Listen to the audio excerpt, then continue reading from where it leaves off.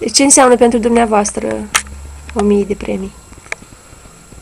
E, înseamnă cununarea unui efort de cam de 30 de ani de lucru cu elevii capabili de performanță. Constituie probabil un record uh, național. Și poate și mondial. Problema e că nu s-au făcut asemenea clasamente. Îl facem noi. Și pentru tine, Oana, ce înseamnă? Uh, Eu uh, simt că mi-am realizat cel mai mare vis, visul de a învăța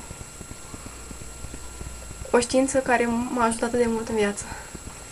Și ce înseamnă să lucrezi cu domnul profesor Bălăucă? Păi înseamnă continuitate, muncă și foarte multe satisfacții. și mulțumesc pentru ajutorul dumnealui.